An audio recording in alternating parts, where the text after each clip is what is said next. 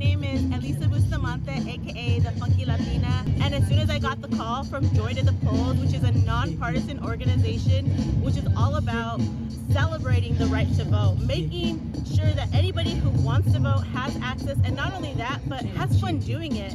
There's a negative stereotype about voting where it's like boring and you're in long partly due to the system that is in place. And so we want to work with the system. We want to make voting fun again, and we want everybody to have a good time and look forward to election day.